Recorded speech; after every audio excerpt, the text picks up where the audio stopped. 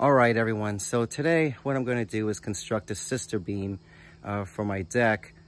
That way it takes a little bit of the load off the house and it also gives it additional support.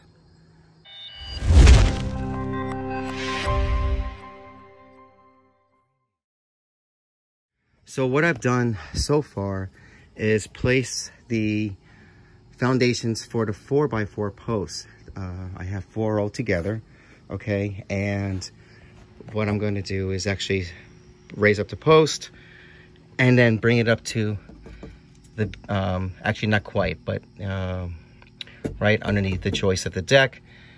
And I'm going to span a 2x8 across the way. Alrighty, so I have everything all measured out. It's about, actually, no, it's exactly 32 inches uh, from this string to the house over there. Okay, so because I stretched the string, I want to see exactly how uh, leveled the um, the joists are, and you can tell. So, so starting from the outside, which I really didn't want to put a screw hole outside. Uh, wasn't sure of any alternative, um, but uh, stretch the string across and then kind of see exactly.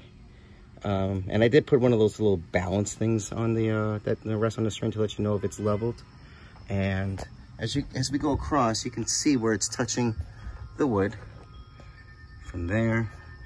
And then before you know it, it actually is about maybe less than half an inch off of this joist. Keeps going the same way and then it starts to get starts to close in again. So I guess the reason why is because not every piece of wood is leveled uh, or squared that is. And uh, I could have done this in several ways. Um, one of them would probably be to notch out the longest one sticking down, which is this piece of wood here, as well as this joist here. Um, but instead, what I'm going to do is I'm actually going to put in the uh, the shims that are for exterior grade to, so it, it rests on it. Uh, and I think that would work just fine. And again, basically what I want to do is take a lot of the load off of the house. And I'm going to construct everything the same way as I did with those posts over there. Okay, I'm going to use the um, the Simpson tie all right that's adjustable because again if I were to use it to settle into concrete um, it's not going to have any load on it right? Because the deck wasn't raised a bit and it's so close to the house that I just didn't think it was possible to do that at all. Okay? Okay so this is the tool I'm talking about. What it does it actually attaches to the string and then lets you know if it's leveled or not. So I'm actually gonna place it right beneath this joist here. You let it sit. So if you look underneath, it's fairly leveled, fairly, but not the best. If I move it on further, and again, this is the pieces of wood where it's not, it's not even touching, right? And there you go again uh, it's leveled. So I'm just gonna go out a little bit further just so you guys see. And here you go. So the string actually is leveled. I'm not just gonna make it easier for myself instead of just notching all the wood or the woods that actually are touching that string, piece of string over there. Um, I'm just gonna put the, uh, the shims I've used these shims uh, for a previous project to uh, level out the um, a, bathroom vanity. So these are outdoors and indoors. It takes close to 5,000 pounds of pressure, which I don't think this is the weight of the deck.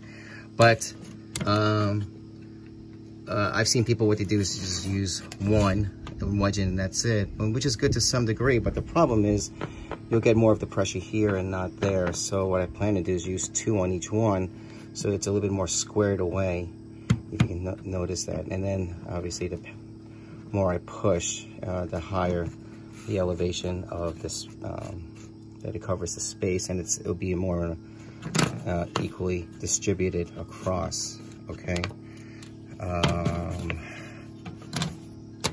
And then these also are easy to snap uh, because it's made of that special plastic. I don't know what it's called again, but it's on the box, okay? Okay, so here is just a little bit of a sample. This is off, off of a previous project. Uh, this is a two by eight. And just to make sure I get the right measurement, it measures close to about, uh, where are you? Yeah, just under a, a, inch and a half. Okay, so I'm gonna I'm gonna use this as a guide.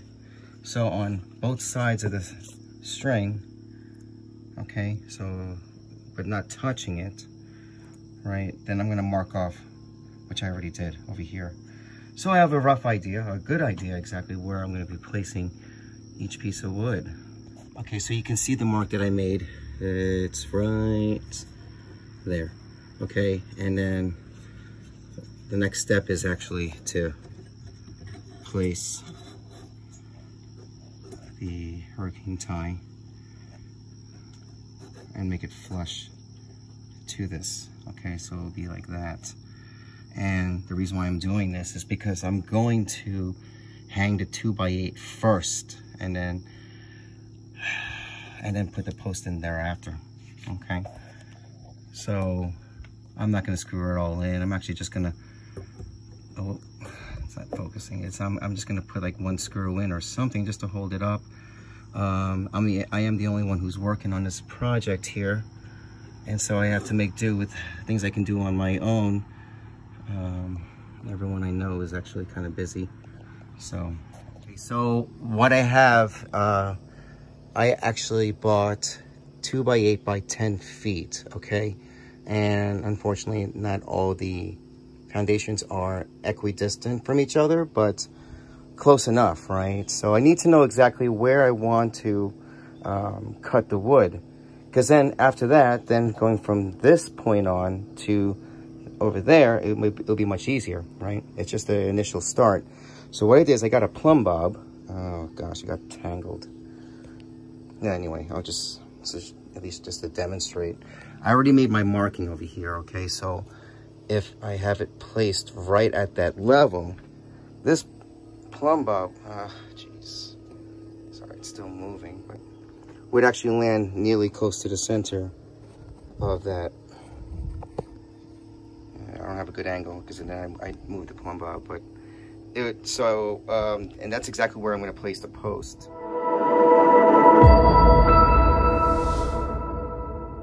And so from that mark that I have there, all the way down to the outer part right here, right there is uh, uh, exactly 114 inches.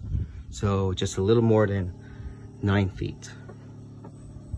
So what I did to carry that two by eight, and that's fairly heavy because it's still a little wet. Um, I made a little loop here, okay? So this will act like a second person for me. And uh, it measures maybe about nine, 10 inches um, length and I just kind of wrapped it around a rail and then the other end there so it's easy for me to adjust accordingly because as you can tell this part here is pretty much flush so as long as, as, long as the wood is touching there I'm good and then I can just re uh, while this end is being held okay while this end is being held I can actually work on the other end down there thereafter once I had it through the loop I actually made this so the rope because this is going to be very uh, flush to the deck, okay? And I'm not gonna have much of a bite. So it, it can fall off the loop, so uh, fall off the uh, rope loop. So this is actually to make sure it doesn't while I'm working there. Okay, so I was able to screw in the one beam there. Okay, uh, I'm sorry, that one end of the beam there. And now I'm just gonna have to just raise it up uh, ever so slightly just to get it right where it needs to be. Okay, so I have the beam up already. Um, I just put a couple screws here and there, but still safe. Okay. And so if you can tell here, it's to be kind of hard to see. Uh, I was able to get both of the, uh, and it fits perfectly. The shims fit perfectly. So once I have it set up here, then I can just cut it and then obviously push this thing up. So now it's covering everything. Okay. So let me show you on the other side too. Uh. Sorry, it's not a good angle, uh, not focused, so there you go. Okay, so what you see me doing is making sure that my loop is all set up and just bringing the drill over so everything's at hand while I'm holding the wood. Thereafter, I bring the 2x8 over and let my second helper hold on to that piece of wood and um, there it's hanging down. Okay, so now it's just a matter of readjusting the loop uh, so that piece of wood is actually flush to the deck. Afterwards, I'm going to bring on over the uh, other end up and flush it down uh, to the joist above. Uh, again, readjusting the loop. And uh, there you go. Just tack it right in to those hurricane ties. Okay, so I was able to get uh, the two long beams in and uh, supported. This is no longer held by the rope, however, it's just there just because. But if you come around this side, you can actually see where the uh, hurricane ties are actually uh, connected and everything is plumb uh, or level that is. Uh, so the reason why I have this board here is because at a certain time it started to twist this board, not twist, but it was actually starting to mount this way. It was like on an angle and I had a hard time pushing this back. So I improvised, I got a scrap piece of wood and I used a screw to put it in there. So that way I was able to push this board this way and everything was able to follow. Once I had that uh, board uh, leveled or plumbed, uh, then I was, uh, give me the, the uh, ability to actually screw everything else in. This, these two boards are lagged together for the time being. So you have two beams, okay? Um, and I connected it just with deck screws. These are the same screws that I'll be using to uh, um, bolt them together. So I'm not going to use nails. I'm actually going to bolt these boards together. Uh, it's a long piece of wood here. So um, as for, I bought some more of these. These are those uh, composite shims that are able to take a lot of weight. As I mentioned before, you know, you push one this way and the other one the opposite direction so it's kind of squared off. Now, originally what I wanted to do was actually cut it right there and then push the hurricane tie flush up. Problem I see with that is that then these holes on both ends will be more closer to the edge of the wood and it's not, it's not gonna have much of a bite, okay? So I'm gonna leave it as is. I'm still gonna cut it, but uh, and then you can, you know, um, you'll see the shims there. It's no big deal. Um, and then obviously I'm gonna fill in the rest of the screws. These are 10, um, 10D uh, structural screws. These are, so that's, I think this is an inch and a half, okay? And it's just right because, you know, you're, you're gonna go through the uh, two by eight over there. These are actually two and a half. And then obviously these two will follow to be two and a half as well once I start filling in the rest of the uh, screw holes. Now, as in a temporary support, I had this 2x4 that I use uh, to kind of keep it up and plumb, uh, I'm sorry, uh, leveled out. If I get a level, here you go. All right, so if you can see this thing here. So pretty much leveled out, which is nice. Um, you're not gonna get, uh, let's see here, here you go. Okay, hey guys, so so far I got the first three of the um, uh, post base done. I'm now I'm on to the fourth. And I did the the same way as I did with the other part of the video. Um, using the Simpson tie and then obviously I still have to drive in a nail through there. And this is what I have right down there. So most of the um, the post bracket is actually into the concrete itself and you don't have that much outside of it and you can always adjust everything.